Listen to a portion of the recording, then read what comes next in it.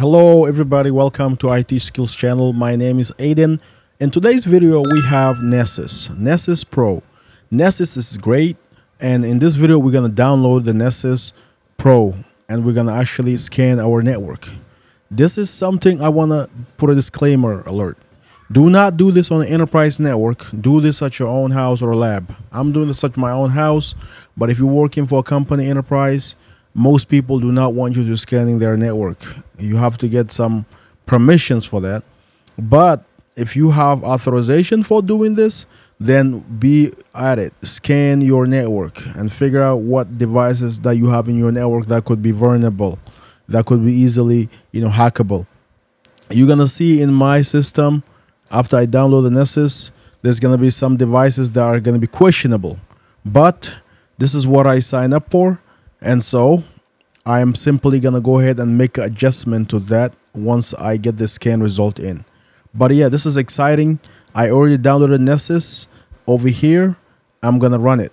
To run it, I'm simply going to go ahead and go to Actually, that's the the virtual machine version. So let me go to the downloads, get another download version over, over here. Let me find it. Yeah, that's the one. I got though I had the VM version where it actually has the image configured. So this is the ISO. I'm gonna actually run this one. So once this is finished copying, I'm going to start running this. And once we do, then we can actually go ahead and actually, you know, start installing it. So yeah, now I'm installing it. I'm gonna hit next. I agree with the EULA and this is all important so you should read it but nobody reads it nowadays. I'm gonna hit install. So you can see that's the, installation aspect of it. It's not really hard. This is very easy. It does tend to take a while so which is why in this video i'm going to be fast forwarding it to save on some time. For whatever reason my uh, like I, I got it installed so i'm gonna go ahead now. I'm gonna log in because again I fast forward it. So I'm gonna log into the Nessus once it finished initializing here. And you can see it created a local host over here on the top. So that's where we're logging under the local host. This is literally a server I built. It's just called Nessus SCCM slash Nessus so I'm using it and I gave it enough memory. So I'm gonna hit you know basically continue. I'm gonna choose which Nessus I want. Is it expert or pro? I'm gonna choose the pro. Next I'm gonna have to put in my activation key. So this is something I'm gonna have to find it. I'm gonna have to blur out because this activation key is unique to me. If you are installing it, I believe you can install the free edition and you may get limited scan, but mine is not free edition. So I do not want to leak out this activation code. So once I'm done putting in the activation code, then I'll resume back to the normal screen. So yeah, I'm done putting the activation code in and I'm gonna hit next and uh, I should be able to actually continue now.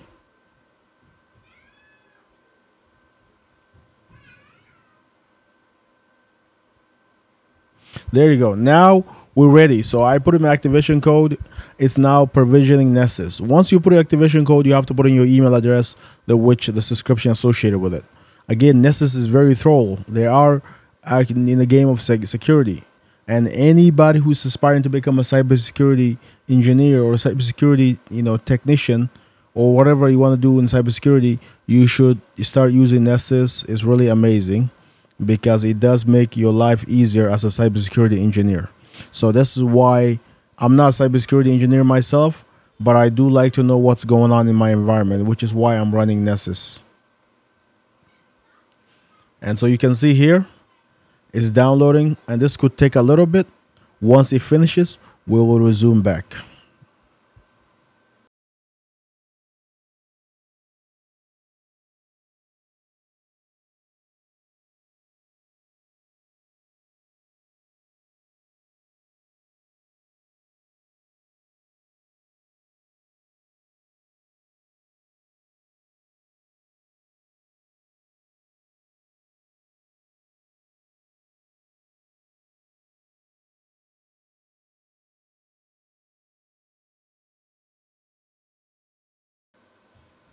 Again, one of the things I'll tell you right now, and I, will tell you for free, is that when you're doing any type of lab, just be prepared to allocate a lot of time because something will go wrong when you're doing it.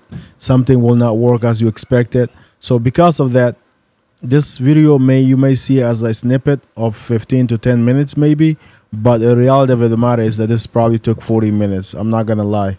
And the reason it is is because it actually takes a while to download the Nessus Pro and install it. So there you go. It's finally completed now. So now you can see over here, uh, this is the Nessus portal.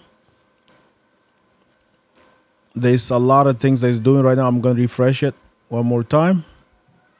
And you can see my email showing up on the top as my username. Right now, I don't have any scans. It's brand new. You have scans, you have plugins, you have customs. You have a lot of things going on that you can do over here. So yeah, on the Terrascans, I'm gonna play around with that and see what I can find out. But right now, we're not gonna do anything with it. We're gonna go back to our scans and see if we can create new scan. So we're gonna hit create new scan. And here we have host of things we can do. We can do ho discovery host. You know, we can do basic network scan, advanced network scan, advanced dynamic scan, malware scan, and so so much things. So we're just gonna do basic network scan right now. And we're gonna call it I teach skills to kind of keep it the theme of the network, the channel over here. And so again, the creativity is not there right now. When I'm filming this video is you can see the time is late. And so I'm just pretty much putting something together. And over here, there's no folders. I don't have any folder created for me, so I'm just gonna keep it on there. And again, here I'm putting a good description of here, scanning all my network for any strange servers or services. And that's it. And then this is to be where my ip is my ip subnet. So what's the ip range i want to scan? So 192.168.1.1 to 192.168.1.254 up until or 253 rather before my gateway and i'm gonna there's also option where you can check the live result that will show you what real scans bring up right right away so this is a good way to see what's going on. So I'm to check that to because I want to see the live result. I can modify this, make schedules, but I just to save it because again, we're new to this and I want to see what we can find out. So right now, my scans is ready. You know, I have one scan is on demand. I'm to select it. I'm to go ahead. I'm to configure some more. If I want to, I can do schedule, notifications, who is to go to an email once I configure SMTP server but right now I cannot really get notification anyways because I haven't configured SMTP and then you can do discovery and again there's more and then assessments you can do advanced it's really nice I mean there's so much you can do with it so if I go ahead launch a scan right now it's gonna start running the scan now the other thing I want to say and I may have taken out of this, this the image of here is that when you're scanning the, you have to use a custom credential to make sure that has access to everything else. So if you're scanning a servers, make sure that you're using a server administrator or somebody with a server admin or local server administrator account so that way you can access this because Nessus does not just want anybody with the software to scan your network without the admin rights. So you have to have admin rights. So you can see here, this is the initial scan result.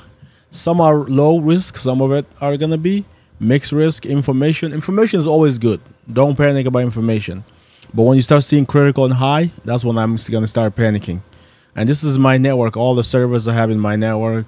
Again, this is not a typical network. In your house, you probably won't see more than this, but mine, I I am running a multi network, if you will, multi servers.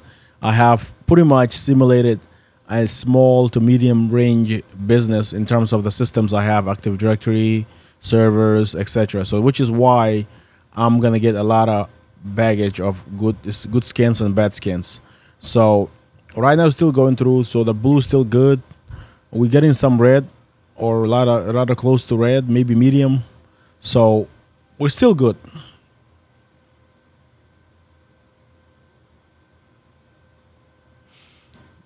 Okay, we fi- we got our first red on that IP 116. If you notice that it got 41, you know, info, but then you got one red in there. So 116 definitely has a problem.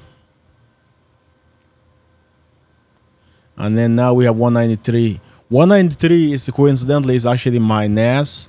I have a 20 terabyte NAS over here that stores, you know, you my iSCSI data file server, and so it has vulnerability. And if you look at it, vulnerabilities, you, if you look at the host first of all, you're gonna see that this is all the host, and then the vulnerabilities is 34 of them. So if you click on the 193, for example, you're gonna see here SMB issues, and this is the one with SMB. So SMB says here, you know, it's not.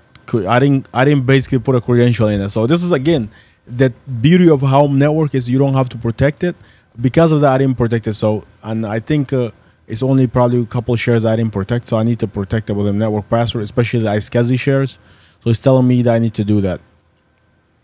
And so, and I can also set up a sharing permission too. So it's telling me to actually set up some type of NTFS permission, you know, or security permission windows. So that way, nobody can get to it if they have access to it. And this is the shares that is telling me that I need to actually do something with it. But yeah, I mean, this is good. Like it, without actually having oversight into your environment, this gives you enough information and give you a solution what to do to fix it. There are going to be some vulnerabilities that Nessus will not give you a clear cut answers to what you can do to fix it, but they are most of for the most part what I've seen is Nessus does a good job giving you what you need to do to fix it. It gives you ammunition to fix that issue. And so well, let's look at 116 next. Why does it have it? Okay, there you go. This is what I was saying about the iSCSI. I did set up an iSCSI that's not set up with a password. And this is literally telling me that I have iSCSI that's not authenticated. And you can see there's so many of them actually. In the bottom, it tells you all the following iSCSI that I didn't set up with password. Now, again, it's my network. I don't have anybody weird coming in. I'm pretty much the only admin. But in the business level, if you notice that this issue comes up, you know you have to address it. It's a security risk. In my house, it's still a security risk, which I'm gonna address it. But for now, to make things easier, I just want to continue looking at the scans more and see what we can find out. And here's another one. This uh, SSL medium cipher suit supported SWEET32. So there's a this is actually affects a device. What's the device over here? Let me see here.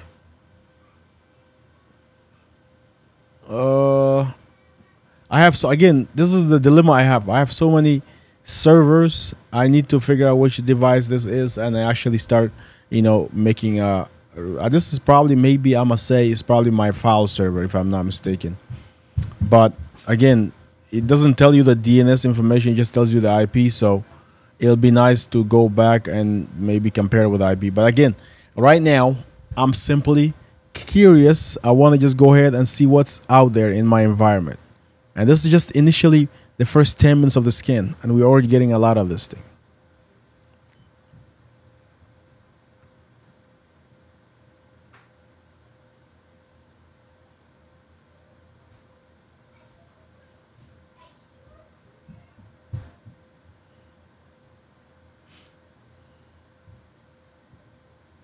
Yeah, the scan is still running and it's going to continue running for a while. I think in the end, because the scan is so much and I have so many network, so many servers in my network, it might be worth to come back to this and actually do an extensive deep, deep dive. Because right now, being 1 a.m. already, almost 2 a.m., I'm not going to be able to do justice for it. So, which is why I think it's going to be a good idea to just uh, recap, catch up to this video again. But yeah, so this is introduction to Nessus Professional. It gives you in-depth insight to your infrastructure. It gives you vulnerability to which host that has vulnerability. It gives you a look of what's going on to what services so you know your weak point. If you don't know your weak point, you can't strengthen it. But in here, you know your weak point. This is telling you you have a problem. Now, as an IT admin, you have to act upon it. Are you going to ignore it? Are you going to sleep nice and easy knowing this issue? Or are you going to do something about it? This is again Nessus demo. I hope you enjoyed it. I certainly have enjoyed it making the video for you. Please like, subscribe, and share the video. It will help us so much. Thank you so much. Have a great rest of the day, and I'll talk to you next time.